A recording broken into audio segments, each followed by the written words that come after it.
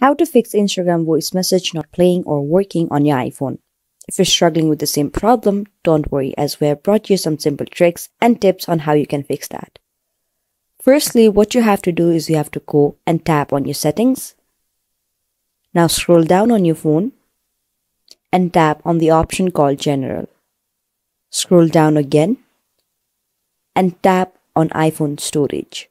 Once you tap on it, it will now take you to the new page where you have to scroll down again and tap on Instagram.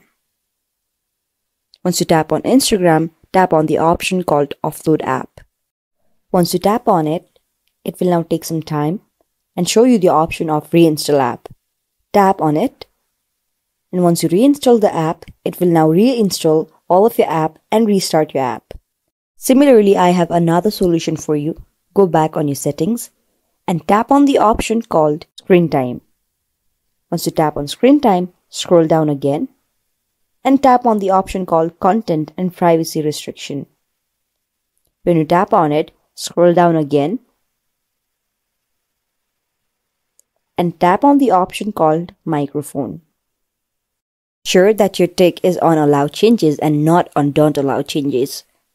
When you do it, it will automatically turn on your microphone of Instagram or any other app. In this way, you can automatically fix your Instagram voice messages not playing or working on your iPhone. If you found my video helpful, make sure to give big thumbs up and subscribe to our channel.